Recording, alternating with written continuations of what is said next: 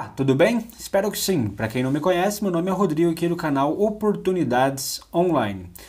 Em relação ao aplicativo Caixa Tem, pessoal, eu consegui ter acesso e talvez isso pode ajudar muitas pessoas. Eu encontrei uma informação no Facebook e fui tentar e deu certo. Apesar de que eu já tinha tentado fazer isso, e não tinha conseguido, e muitas outras pessoas também haviam tentado e não tinham conseguido. Mas agora deu certo, agora são hoje é dia 22 às 15 horas e 30 minutos. Eu consegui lá pelas 15 horas, tá? Eu não estou fazendo o cadastro necessariamente para mim, esse aqui é o aplicativo Caixa Tem. Na verdade é para o meu tio. E eu vi no Facebook uma mulher lá, ela comentou que ela havia conseguido de primeira assim que ela desligou o Wi-Fi e utilizou os dados. Eu falei, pô, eu já tentei isso tal, mas vou, vou tentar novamente.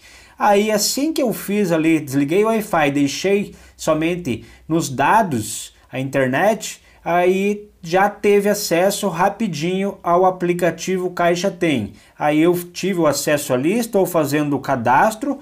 Agora Basicamente, para ter primeiro acesso, eu vou ter que mandar um SMS para ele confirmar o, a solicitação, porque o que acontece? Como eu cadastrei o número dele, aí eu não tenho aqui, depende dele me responder. Eu estou aguardando, ele não viu ainda a mensagem, mas funcionou assim, pessoal. Por mais que muitas pessoas já haviam tentado, pelo menos hoje, dia 22, funcionou dessa forma. E tem um detalhe também interessante que, cara, sei lá se isso, o que, que acontece, mas eu tenho dois celulares, até por sinal, por sinal esse que está gravando e esse aqui.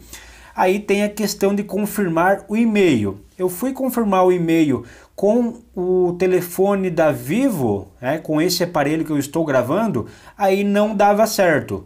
Aí eu voltei para esse aparelho que é TIM, deu certo. Pelo menos isso eu estou falando que aconteceu aqui comigo, sabe? Pode ser que em outros casos talvez não tenha nada a ver, mas foi o que ocorreu comigo, tá? Desliguei o Wi-Fi, deixei nos dados, deu certo de primeira, como a mulher aí havia comentado no Facebook. Aí para confirmar o e-mail, o, através do, da Vivo dava erro. Aí eu peguei abri o e-mail dele aqui no da TIM, no celular da TIM, aí deu certo, tá? Passando mais a minha experiência que eu tive, casos e casos aí depende, mas espero que para você também dê certo, talvez aí, principalmente para as pessoas que não conseguem ainda é, fazer o acesso no aplicativo. Pelo menos agora a gente já está nesse processo aqui.